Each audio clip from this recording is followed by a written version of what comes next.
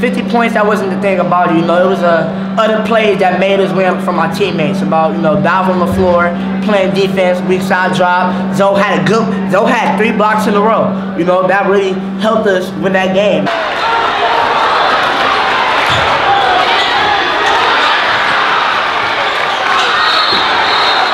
I mean, he was about to break my record, so I pulled him out out there, pulled him out earlier in the fourth quarter to give him a breather because he was getting a little too hot. No, I haven't seen nothing, especially I done coached a lot of great players, uh, probably over 20 some Division One players since I've been to Garfield, and ain't none of those guys have a performance like this tonight. He's pretty special.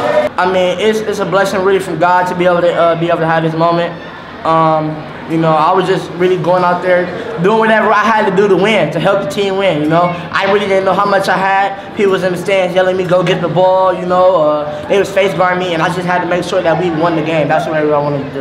The most I ever had when, when I was younger, I had 72. That was the most I ever had when I was younger. 72. The most I ever had. What was the stage? What was it? I mean, it was a rec league at the, at the uh, high school summer league, and I was just, you know, out there hooping. All right. Well, junior high or AU, what's your high? Do you know? AU, probably about 44, maybe. I'm not sure. My nephew uh, is unbelievable. Um, he's special. We always know he was special. Um, he lived for these moments. You know, his father did an unbelievable job preparing him for these moments. Um, and he's been doing it. He's been doing it since he was little, making plays like he's been making today. And if you watched him play today, he did it unselfishly as well. And they put uh, their junior on him, Ziegler, who's a, a Division One prospect.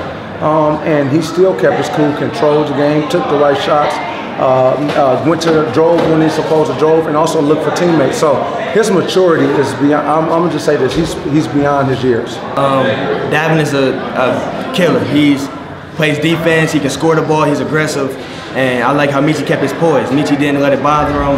Didn't let still played his game. Didn't let nobody speed him up. So this game for him as a freshman could make him elevate more. He doesn't play like a freshman. So I, I feel bad for whoever got taken this senior year.